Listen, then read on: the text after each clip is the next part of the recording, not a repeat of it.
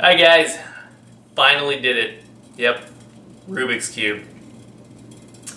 Went ahead and bought one. Took it right out of the package, haven't touched it yet.